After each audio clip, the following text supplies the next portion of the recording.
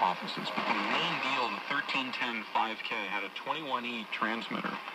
Uh, and the air studio was in the center, and it was like being in a well, depends on your your you know description, either a fishbowl or a pilot house of a ship or whatever.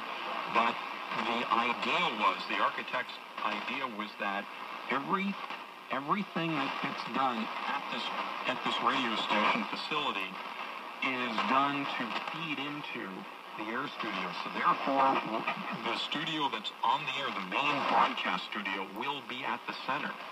Um, and not only was it at the Geographic Center, it was at the um, Physical Center, and it was it was exactly uh, at the center, and it was round. Now that accomplishes a couple of things, as you know. It, it gets rid of a lot of the wall reflection, which is good because the walls were glass, so you you immediately had not a good wall substance up to through flat surfaces. It was literally the entire thing was made with curved glass, so it really cut down on reflection.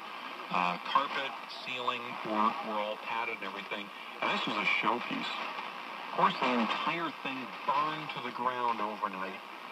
Uh, very suspicious, but anyway, unfortunate. Radio in the round, they called it, 1310 WVIP.